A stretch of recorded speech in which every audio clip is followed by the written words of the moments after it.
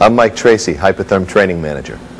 This video presentation is intended to help you get the most from your Hypertherm plasma cutting equipment. You'll learn how to take full advantage of the high performance characteristics inherent with Hypertherm's cutting edge torch design and consumable technology. Hypertherm's research and development team is constantly improving consumable performance. Innovations only available with Hypertherm genuine consumables, such as torch front-end shielding, long-life oxygen cutting, electrode technologies like High Life, Cool Core, Taper True, and our latest Silver Plus, as well as high-flow vortex and coaxial assist jet technology, have greatly increased consumable life and improved cut quality. Field visits, however, have shown us time and time again that some basic operating and maintenance procedures are being overlooked, keeping operators like you from getting the full benefit from these technological advances. By helping you to focus on the fundamentals of proper use and maintenance for Hypertherm systems, this presentation will enable you to realize longer consumable life, greater productivity, enhanced cut quality, and substantial performance benefits. So let's start by looking at the factors that promote long consumable life. Consumable life is not an exact science and may differ from one application to another, depending on what is expected from the cut. There are many variables that affect the usable life of consumables. Gas purity, average duration of cut, number of pierces, and compliance with the manufacturer's recommended cut parameters, including pierce height, flow rates, pierce delay, output current, and arc voltage. These are some of the most important. Also critical, of course, are the quality requirements of the user. Because it is virtually impossible to predict nozzle and electrode wear rates for specific applications, we must speak in terms of average life. Tests have shown that hypertherm long life can achieve electrode life four to six times longer than standard oxygen plasma cutting systems, an advantage that is even greater on long life systems using hypertherm's new Silver Plus electrode.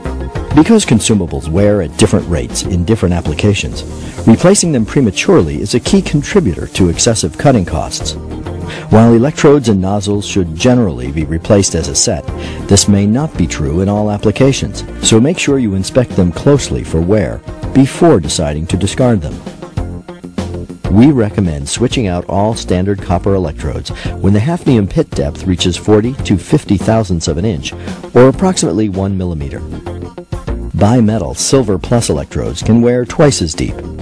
Swirl rings should be replaced when necessary, usually every 5 to 10 electrode and nozzle changes. Shields, retaining caps, and other parts only need replacing when they are visibly worn or when cut quality decreases.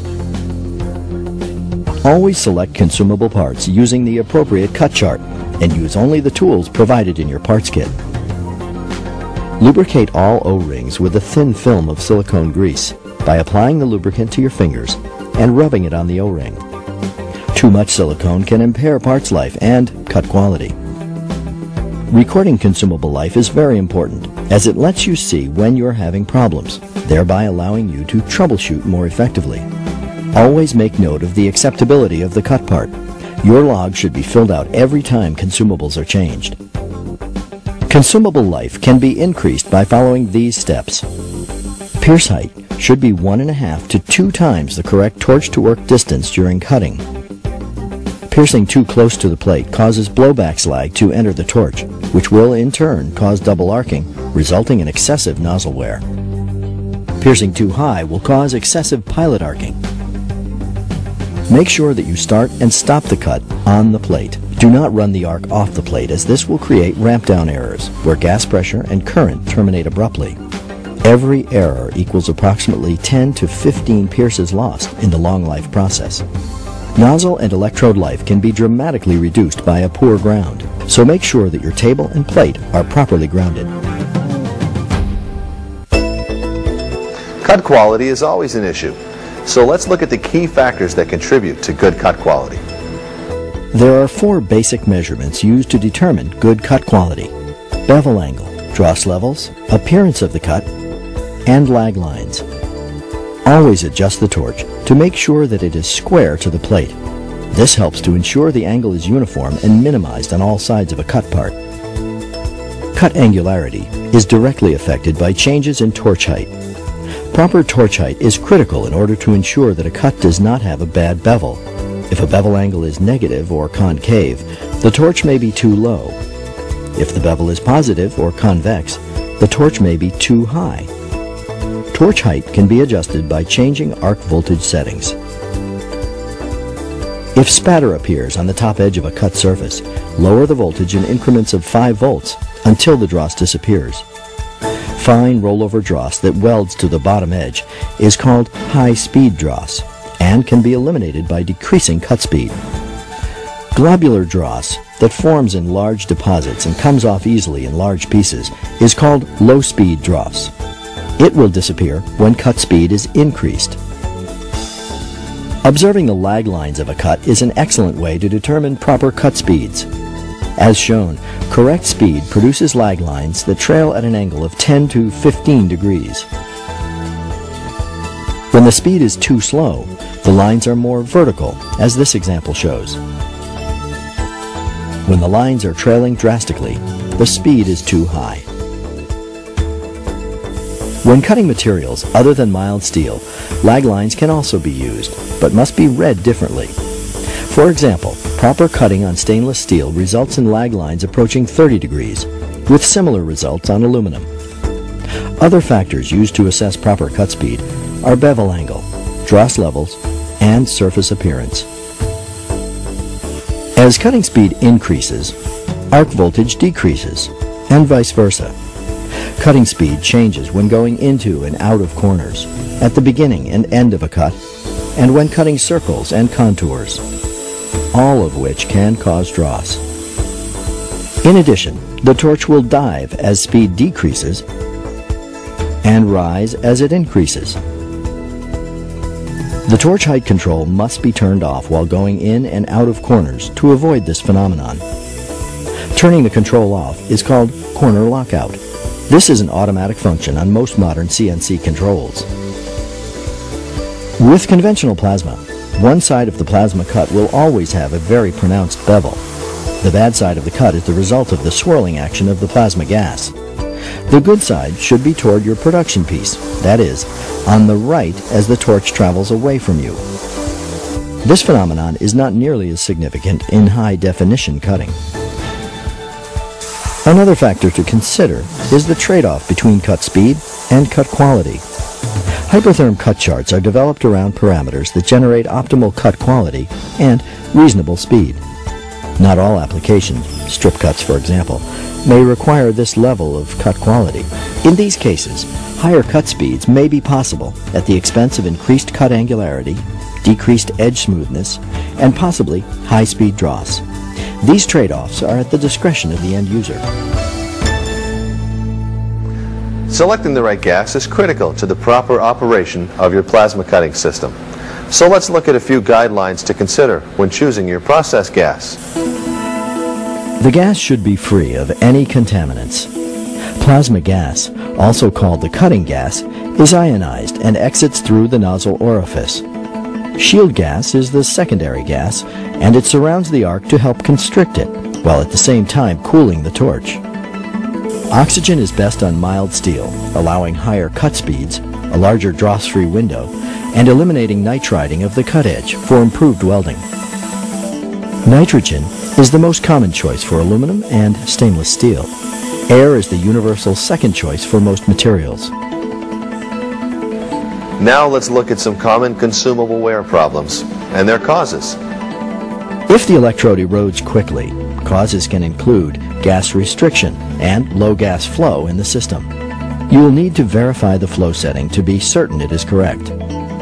Also, make sure that the proper consumables are being used. Check the swirl ring to assure it's not broken or over lubricated.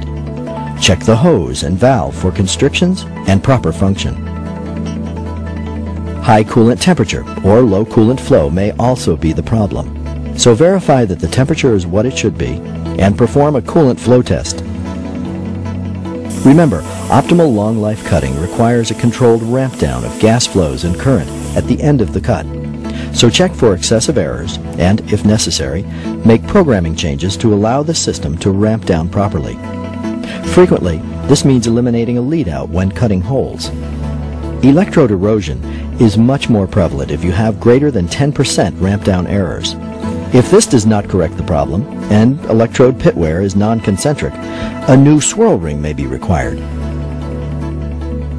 When the nozzle orifice wears out of round, or the orifice wears from the outside in, it could mean excessive double arcing.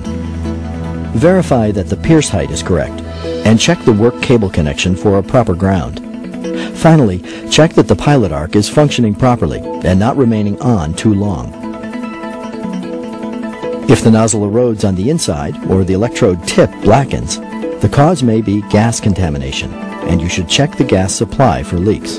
Double arcing may also be a cause, and so height should be checked to make sure it isn't too low. Improper maintenance can lead to major problems and result in unexpected and costly downtime. Routine maintenance can maximize cut quality, consumable life, and product reliability. Most importantly, it will increase productivity. Because proper maintenance is critical to efficient, low-cost system operation, a maintenance section is included in each operator manual. Hypertherm has also developed a separate preventive maintenance protocol, which is available at no charge. So you can see, routine maintenance is critical to optimum system performance. Here's a brief summary of a few key maintenance checks that will help you achieve the greater productivity, enhanced cut quality, and substantial operational savings mentioned at the beginning of this presentation. Each day you should check inlet gas pressures and gas flow settings. You should also check coolant pressures and temperatures, inspect the torch, and replace consumables as needed. Every week, clean the power supply with compressed air or vacuum. Verify that the cooling fans are working properly. Clean the torch threads and current ring with a cotton swab and check to see that the coolant is at the correct level. Beyond these few key checks, Hypertherm recommends a regular, monthly, and semi-annual maintenance procedure. These are described in detail in both your operator's manual and the machine side reference guide, another reference tool free from Hypertherm. I hope this brief presentation will help you to increase productivity and lower cutting costs. However, I suggest that you take full advantage of all the materials available to you, such as the machine side reference guide, preventive maintenance protocol, cut quality and consumable wear posters, and other materials offered free by Hypertherm. In addition, your factory-trained Hypertherm supplier will be able to answer any questions you may have. Or you may contact Hypertherm's technical service directly.